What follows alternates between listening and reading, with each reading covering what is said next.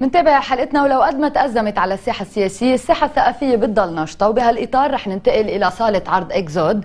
لنتابع المعرض للفنان التشكيلي جوزيف فلوغي. أكثر من 30 لوحة شاعرية مزجت بين القصيدة والفن التشكيلي والتفاصيل بهالتقرير.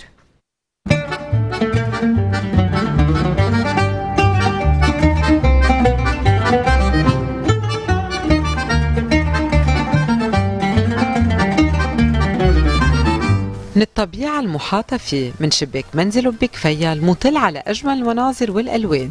من نفسيته الإيجابية والحلوة استوحى الفنان جوزيف فلوغي لوحاته وألوانه.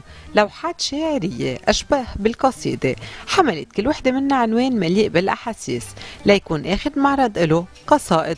معرض ضم 30 لوحة متعددة الأحجام. طغت عليها الألوان الزيتية والأكريليك. لوحات شاعرية غنائية بتفرح النفس وبتريح المشاهد.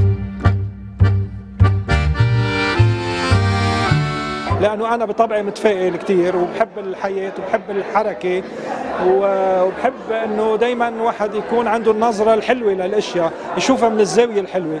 ثانيا لأنه أنا عندي المحترف بكفيه بيطل على جنيني. يعني عندي دايما هالخضار وهالشجر وهالطبيعة وهالزهور. الألوان كثير رائعة. على طول بيعمل معارض دوريا.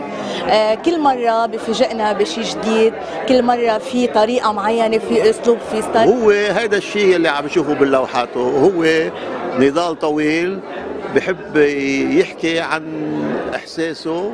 هي بالفعل كل لوحة هي قصيدة بحد ذاتها لها جوها الخاص لها آه، ألوانها الخاصة texture تبعها. عمال تحكي بمعنى بطريقة خاصة.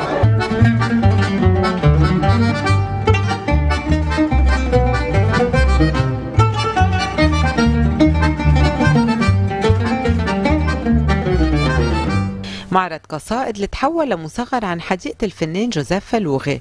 لوحات غنية بالألوان والطبقات. ألوان عم تتمايل تتشابك وترقص بين بعضها.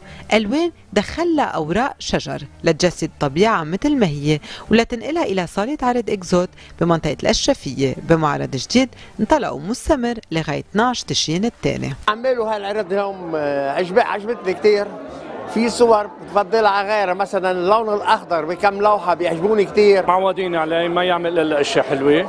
لطافته واخلاقه ودسامة آه، هيك طلته مش ممكن تعمل إلا أعمال حلوة. هي أشكال لونية مغلفة آه بالضوء مشان هيك بتحسيها عم تلعب اللوحة.